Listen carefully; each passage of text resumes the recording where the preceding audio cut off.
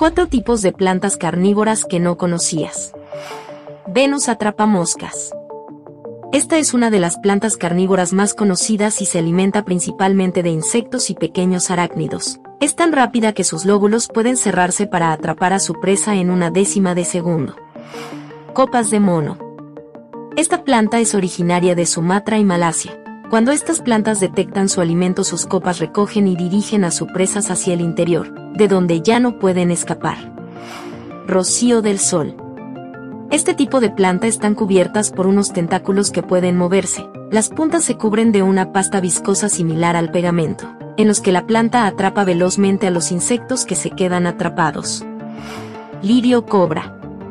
Es una planta carnívora que pertenece a la familia Sarraceniaceae. Las presas quedan atrapadas en la planta y sus pelos las obligan a bajar por su hoja hasta que son engullidos totalmente por ella.